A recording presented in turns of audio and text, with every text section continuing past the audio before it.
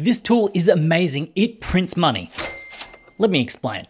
When Blur Season 1 dropped, over 300 million tokens were given to traders. This liquidity boost for traders was wild, with four, five, even six figures in value given out to these traders. People took notice. Now, cue season two. Now, with the rewards from season one in mind, people have been going extra hard for season two. They have been exclusively using Blur for trading and their volume, but also engaging in risky bid farming for points. Hell, Blur even has a 24 hour leaderboard so you can see what's happening daily. Bid farming can be hard. It takes a bit of liquidity and it takes a lot of attention. If only there was some way to automate the bidding. Huh.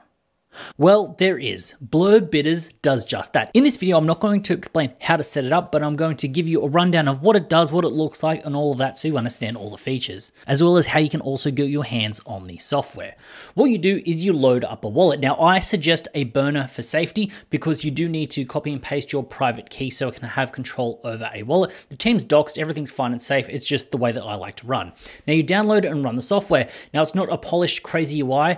It does look like this, but it does make you feel a little bit like a hacker. Now, after setting it up, the bot looks at all the projects that qualify with the funds that you have in your bid pool. You can decide what projects to exclude from this. So if you know that there's some wash trading or something a little bit sus going on, you can actually exclude them so it's not just going on everything. And then you hit run. It will go through and automatically place bids for you and cancel them when you need to as well. It's basically just having a bot that looks at all of your bids all of the time to make sure that you stay safe and don't get dumped on. Now look, there are some metrics that keep you safe. They've got these walls in place. They want 25 bids in front of you and 10 bidders as well. Now this wall should give you enough safety when you are bid farming. Now, this isn't a foolproof, carefree way to bid farm. There are risks. So you do need to come to terms with and stomach the fact that all of your bids could actually be accepted. It's not 100% risk free. Now, this can happen if there's some manipulation, if there's some whales, if there's some wash trading, or people just wanting to dump on farmers. Wonder Pals had around 1500 NFTs dumped onto the market within the last day or so, absolutely dunking on farmers. And this is both manual and bots, so it's not something that you can easily be protected from because these are real bids that you're putting in and these are bids that can be accepted. So what I'm trying to say is it is risky and it can happen. Now to the good stuff. Right now on this test account, I've got 0.5 ETH loaded and it's making around 0.3 points per hour, which is around 7 points a day. This almost seems like a small amount and it is, but when you look at where my bids are, this isn't a super aggressive bid strategy. It's actually quite conservative. There is a decent wall, it's quite safe, and it's built this way by design. So it can be running 24 hours a day, seven days a week to ensure that you are getting points without having to be there and worried about getting dumped on by a whale. If you do have more in your pool, you're able to actually get more points because you open up the market of what you can actually bid on. So you can bid on more blue chips and some of the mid caps. So how can this print money? Here is some napkin math for you.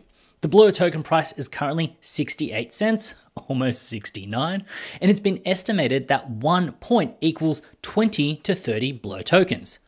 This means at 7 points a day, I'm making between $95 and $145. Where it gets crazy is if you drop two, three, five, even 10 ETH, you actually exponentially grow the amount of points that you can get because you have more access to more projects to bid on, but you can also bid more on those projects that you're actually bidding on in the first place. But yes, these estimates can be off. The Blur token can drop in price. Bidding may not be as lucrative, especially after the double points drops, but I actually think it's going to go the other way because people won't be bidding as much and all of those things in between. Now, the first thought that I had is that if it's a money printing machine, then why would the team share it? Why would the team want other people to have access to this? So I actually asked the team. And at first, they said that it was just them, they were using it and they're having a great time, and they shared it with their friends. And now it is a way to actually offset the development costs while they wait for season two to finish. Now, that is me putting a little bit of words in their mouth, but essentially, they do want to still keep it small. It is a subscription model, and they want to keep it to a very tight group of around 333 people. But if the demand is absolutely crazy over the top, they can actually move that number up so it isn't set in stone. Now, this is still super new, and if you want to get in, here's what you need to do. You need to join their server and claim access, and you can get in straight away.